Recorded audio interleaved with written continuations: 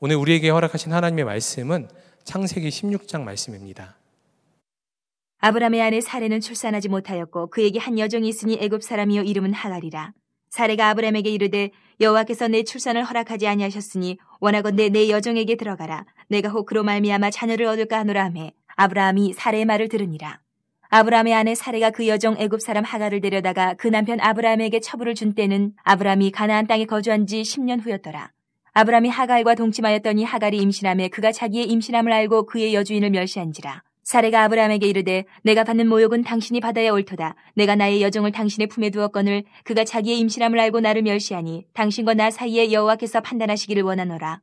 아브라함이 사례에게 이르되 당신의 여종은 당신의 수중에 있으니 당신의 눈에 좋을 대로 그에게 행하라 하매 사례가 하갈을 학대하였더니 하갈이 사례 앞에서 도망하였더라. 여호와의 사자가 광야의 샘물 곁 곧 술길 샘 곁에서 그를 만나 이르되 사례의 여종 하가라. 내가 어디서 왔으며 어디로 가느냐? 그가 이르되 나는 내 여주인 사례를 피하여 도망하나이다. 여호와의 사자가 그에게 이르되 내 여주인에게로 돌아가서 그 수하에 복종하라. 여호와의 사자가 또 그에게 이르되 내가 내 씨를 크게 번성하여 그 수가 많아 셀 수 없게 하리라. 여호와의 사자가 또 그에게 이르되 내가 임신하였은즉 아들을 낳으리니 그 이름을 이스마엘이라 하라. 이는 여호와께서 내 고통을 들으셨음이니라 그가 사람 중에 들러기같이 되리니 그의 손이 모든 사람을 치겠고 모든 사람의 손이 그를 칠지며 그가 모든 형제와 대항해서 살리라 아니라. 하갈이 자기에게 이르신 여호와의 이름을 나를 살피시는 하나님이라 하였으니 이는 내가 어떻게 여기서 나를 살피시는 하나님을 배웠는고 함이라. 이러므로 그 샘을 부엘라 헤로이라 불렀으며 그것은 가데스와 베레 사이에 있더라. 하갈이 아브람의 아들을 낳음에 아브람이 하갈이 낳은 그 아들을 이름하여 이스마엘이라 하였더라. 하갈이 아브람에게 이스마엘을 낳았을 때에 아브람이 86세였더라 아멘. 하나님의 말씀입니다. 어제 본 15장에서 하나님과 아브라함이 언약을 맺기 전에 아브라함은 다메섹 사람 엘리에셀을 자신의 상속자로 삼으려 했습니다. 그러나 하나님께서 다시금 하나님의 언약을 말씀하셔서 아브라함과 사례에게 자녀를 허락하여 주시고 또 그 자녀들을 축복하여 주실 거다라고 말씀하신 후에 적어도 그들에게 한 가지 믿음이 생겼습니다. 그것은 자신들에게 하나님이 자녀를 주실 거다라는 믿음이었습니다. 그래서 그들은 그 믿음을 가지고서 자녀를 주실 것을 또 기다렸습니다. 하나님이 은혜 주셔서 이렇게 언약을 맺게 됨으로 말미암아 아브라함과 사례에게 있었던 위기가 믿음의 위기가 또 한 번 넘어가게 되었던 것입니다. 그러나 이렇게 또 시간이 흘러도 아브람과 사례에게 하나님이 약속된 자녀는 허락되지 않았습니다. 이 일로 인해서 또 한 번의 위기가 이들에게 임한 것이 오늘 말씀에 그려지고 있습니다. 이들에게는 갈등과 믿음의 갈등과 한계가 또 부딪히게 된 것입니다. 그 갈등과 한계는 무엇인가요? 아브라함과 사례가 나이 들어서 노쇠하게 되었다라는 것입니다. 오늘 창세기 16장은 아브라함과 사례가 하나님의 부르심을 받아서 하란에 떠난 지 10년이 지난 시점의 사건입니다. 아브라함이 하란을 떠날 때 75세의 나이였으니 이 16장에 기록된 아브라함의 나이는 85세이고 또 사례의 나이는 75세가 되었습니다.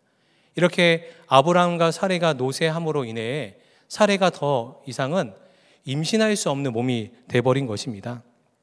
그래서 사례는 더 이상 자신이 자녀를 낳을 수 없다라는 것을 결론 짓고 아브라함의 한 가지 결론, 제안을 하게 됩니다. 그리고 아브라함은 이를 받아들입니다. 그것은 사례의 종을 통해 자녀를 얻게 되는 것입니다. 2절에 사례가 아브라함에게 이르되 여호와께서 내 출산을 허락하지 아니하셨으니 원하건대 내 여종에게 돌아가라 들어가라 내가 혹 그로 말미암아 자녀를 얻을까 하노라 하매 아브라함이 사례의 말을 들으니라 당시만 해도 이 일은 법적으로나 윤리적으로 문제가 되는 일은 아니었습니다. 당시 여주인과 여종은 하나였습니다. 여종은 여주인의 그냥 소유물이고 부속품처럼 여겨지는 시대였습니다. 그래서 때때로 여주인 대신 여종이 아이를 낳는 일까지도 하는 일이 그 당시에는 허용되는 시점이었습니다. 그래서 아브라함과 사례가 자녀를 기다렸지만 자녀를 허락하지 않으시고 또 자신의 몸이 더 이상 자녀를 낳을 수 없는 몸이 되었다라는 것이 판단이 되고 나니까 여종을 들여보내서라도 하나님이 약속하신 자녀를 얻는 것이 그들 가정에게는 가장 현실적이고 합리적이고 또 한편으로는 지혜로운 법 것처럼 보여지기도 했습니다. 사례의 입장에서는 나름대로 큰 결정을 하고 아브라함에게 권면을 한 것입니다. 그러나 중요한 것은 이것은 하나님의 방법은 아니었다는 것입니다. 아브라함과 사례는 자녀를 얻을 것이라 라는 믿음은 있었지만 이것이 사례의 몸을 통해서 일어날 것이다 라는 믿음은 약해져 있었습니다. 사례의 몸이 통해서 자녀를 낳을 수 없다라는 생각이 드니까 이 믿음의 한계를 갖게 되니 더 이상 하나님께 묻지도 않고 이 상황 가운데 하나님 우리를 어떻게 도우실 건가요? 강구하지도 않고 그들이 할 수 있는 가장 현실적이고 가장 최선의 방법을 택하였던 것입니다. 현대인들은 합리적이고 또 현실적이고 이성적이라는 단어를 좋아합니다. 그래서 세상에서는 현실적인 대안을 마련하고 또 합리적으로 판단하고 또 이성적으로 어떤 일을 결정하고 추진하는 사람들이 대우를 받습니다. 참 유능하다는 이야기를 듣습니다. 그러나 믿음이라는 단어와 현실적, 합리적, 이성적이라는 단어는 양립하기 어려울 때가 많은 것을 보게 됩니다. 물론 주님의 일을 감당할 때 하나님이 주신 지성과 감성을 잘 활용하는 것이 우리에게 필요합니다. 그러나 믿음의 영역은 우리가 생각하고 판단하는 그 수준을 뛰어넘어서 하나님의 일하심을 발견하는 것이 믿음의 영역인 것입니다. 사람의 생각이 하나님의 생각보다 앞서고 그러므로 말미암아 전지전능하시고 무소보재하신 하나님의 능력을 우리 속에 가둬두는 것은 결코 믿음이라 할 수 없습니다. 그것은 불신앙입니다. 그래서 믿음은 기다림의 다른 표현이기도 합니다. 내 안에 한계가 오고 내가 현실적으로 따져보고 합리적으로 따져봐도 더 이상 가능성이 없는 그 시점에도 내 생각과 내 판단을 내 경험을 내려놓고 하나님이 일하실 것을 끝까지 믿음으로 기다리는 것. 이것이 믿음인 것입니다. 아브람과 사례는 그들이 할 수 있는 최선의 것, 가장 합리적인 일을 행했지만 이로 인해서 이들은 하나님의 능력을 불신앙의 테두리 안에 가둬버리고 만 것입니다. 하나님은 인간의 신체 능력에 제한되는 분이 아니십니다. 하나님은 그것에 뛰어넘어 일하실 분이라는 것을 그들은 몰랐던 것입니다. 사랑하는 성도 여러분, 여러분은 하나님을 어디까지 믿으시나요? 홍해를 가르시고 요단강을 멈추게 하시고 죽은 자를 일으키시고 풍랑을 잠잠케 하시고 예수님 자신이 죽으셨다가 부활하셨습니다. 그리고 우리 몸도 죽었다가 부활의 몸을 입을 거다 말씀하셨습니다. 이 모든 것이 여러분들 믿어지시나요? 하나님이 그 일을 지금도 할 수 있다라는 거 여러분들 믿으시나요? 하나님이 그 일을 내 삶 가운데서도 하실 수 있음을 믿으시나요? 이건 믿어지는데 저건 좀 과장되고 무리스러운 것 같아. 이건 예전에 성경 속에서 일어나는 일이지만 지금 일어날 수 있는 일은 아니야. 이 사람에게는 성경 속에 하나님의 믿음의 사람들에게 일어날 수 있는 일이지만 이 일은 내 삶 가운데 일어나기는 너무나 불가능한 거야. 라고 어느새 내 생각과 마음으로 믿음의 한계를 설정해 놓고 그 테두리 안에서 믿음을 생활을 하고 있지는 않으신가요? 우리가 믿음을 구하되 온전한 믿음을 구하게 되기를 축복합니다. 어느 거 믿고 어느 거 믿지 않는 것 아니라 하나님이 말씀하신 것 전부를 믿는 믿음으로 나아가는 저 여러분들 되기를 축복합니다. 이 일은 지금도 내 삶 가운데서도 일어날 수 있는 믿음이다. 라는 것이 우리 안에 붙잡혀지게 되기를 축복합니다. 몇 년 전에 하루는 제가 마트에 갔는데 어느 젊은 여자분이 제게 말을 걸어 오셨습니다. 혹시 목사님 아니세요? 이야기를 들어보니까 우리 교회 다니시는 요셉교구 집사님이셨습니다. 저희 교회 교인이신데 지금 아이가 열이 나는데 약을 먹여도 열이 떨어지지 않아서 목사님 괜찮으시면 지금 이 자리에서 기도해 주세요. 라고 요청을 하는 것입니다. 좀 당황스러운 일이었지만 사람 많이 다니는 계산대 옆에서 그 아이를 위해서 기도해 주었습니다. 그리고 저는 그 일을 깜빡 잊고 있었습니다. 그런데 그 주일에 그 성도님이 아이를 데리고 사무실에 방문하셨습니다. 그리고 말씀하시기를 아이가 목사님의 기도를 받고서 열이 바로 내렸다라는 것입니다. 저는 그 성도님의 이야기를 들으면서 이런 생각을 했습니다. 이 아이가 내 기도를 통해서 좋아졌는지 아니면 약을 먹고 좋아졌는지 알 수 없는데 아, 이 성도님이 참 믿음이 좋으시구나. 이런 생각이 제 안에 문득 든 겁니다. 그런데 그 순간 정신, 정신이 번쩍 들었습니다. 아, 내가 정말 믿음 없는 목사구나. 내가 병이 낫기를 위해서 기도하면서도 제 안에 믿음이 없었던 것입니다. 치유 기도는 은사가 있는 목사님들이나 하는 거고, 나같이 젊은 목사가 할 수는 있는 것은 아니다라는 생각이 제 안에 자리 잡고 있었다라는 것이 그 순간 보여졌습니다. 내 생각으로 주님의 일하심을 한계를 설정해 놓고서 기도하면서도 믿음 없이 기도했던 저의 연약한 모습을 주님이 보게 하셨습니다. 그 이후로 하나님은 제 마음을 회개하게 하시고 나를 통해 일하는 것 아니라 하나님의 능력은 제한이 없으시다. 사람은 부족해도 그 사람을 통해 일하시는 하나님의 능력은 제한이 없으시다라는 것이 제 안에 붙잡혀지고 기도를 하던 어떤 일을 하던 하나님의 능력을 행하는 것에 대한 믿음을 가지고 행하게 되었습니다. 그리고 그 이후에 누가 병이 낫기를 위해서 기도하면 하나님이 하실 것에 대한 믿음을 가지고 기도하게 되었습니다. 그리고 그 성도님에게도 주님이 하실 것을 믿음으로 취하기를 위해서 축복하며 기도했습니다. 사랑하는 성도 여러분, 내 믿음의 한계에 주님을 가둬두지 않게 되기를 축복합니다. 하나님의 능력은 변함이 없으십니다. 혹시 여러분의 삶 가운데 주님의 능력을 제한하여서 기도하기를 포기하는 그런 기도, 제목이 있으신가요? 더 이상 이 일은 가능성이 없어. 이제 현실적인 방법을 찾아봐야지 라는 생각으로 잊고 있고, 아니, 이지를 했던 문제는 없으신가요? 다시 그 문제를 주님 앞에 꺼내 놓으시게 되기를 축복합니다. 하나님이 이건 아니야. 이건 더 이상 가능성이 없어. 라고 말씀하시기 전까지는 더 이상 끝난 것이 아님을 믿고 주님의 능력을 믿고 끝까지 기도하며 하나님의 일하심을 기다리는 여러분들 모두가 되시게 되기를 축복합니다. 아브라함과 사례가 사람의 방법을 택하였을 때 이 가정에 어려움이 생겼습니다. 사람의 방법은 항상 어려움과 후유증을 남기게 됩니다. 하갈이 임신한 이후에 사례를 무시하게 되고 또 사례는 이 일로 인해서 하갈을 핍박하게 됩니다. 하갈은 사례의 핍박을 견디지, 견디다 못해서 도망쳐 나와서 광야로 향하게 되었습니다.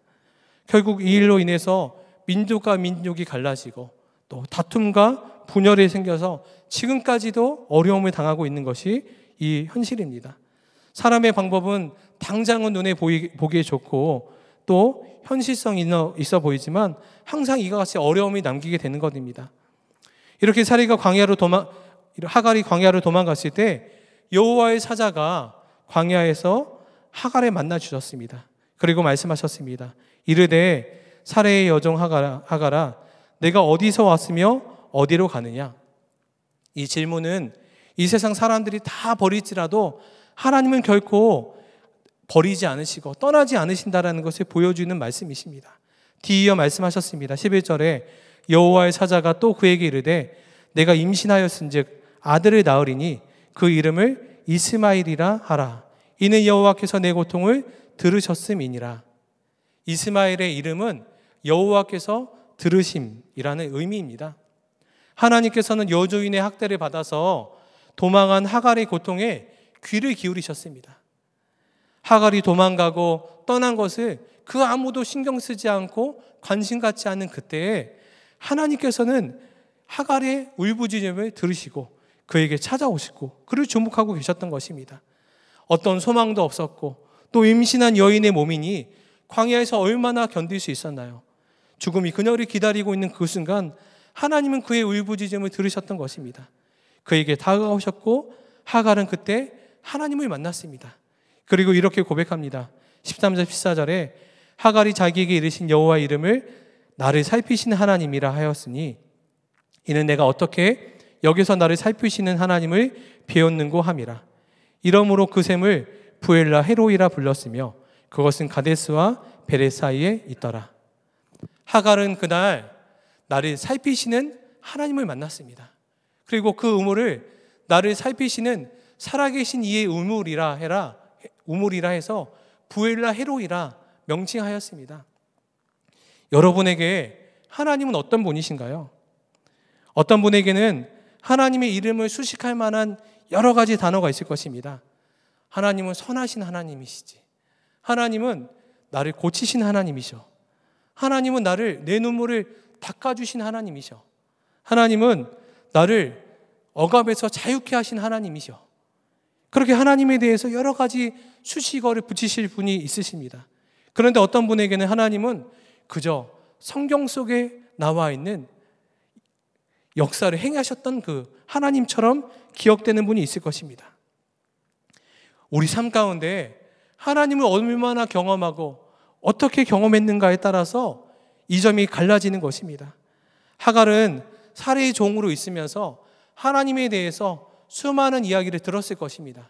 그러나 그때 하나님은 아브라함의 하나님이었고 사례의 하나님이었습니다. 그러나 우물 곁에서 하나님의 사자를 만남을 통해서 하갈에게 더 이상 하나님은 아브라함의 하나님, 사례의 하나님이 아니라 나를 살피시는 하나님이 되었던 것입니다. 그리고 광야에서 찾아오신 그 하나님을 이제 다시 다시금 가정으로 돌아가서 전하고 나를 만난 하나님을 증거했습니다. 그리고 나의 아들의 이름이 이스마일이다라고 그는 이야기했습니다. 그는 평생 자기 아들의 이름을 부르면서 어떤 사건을 기억했을까요?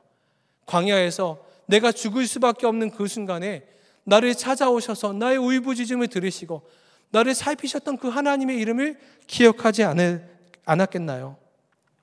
사랑하는 성도 여러분, 오늘 하루 그 하나님을 경험하시게 되는 여러분들 되시게 되기를 축복합니다. 내가 눈물 가운데 있을 때 내 눈물을 닦아주신 하나님을 경험함으로 말미암아 나는 하나님은 내 눈물을 닦아주시는 하나님이시야.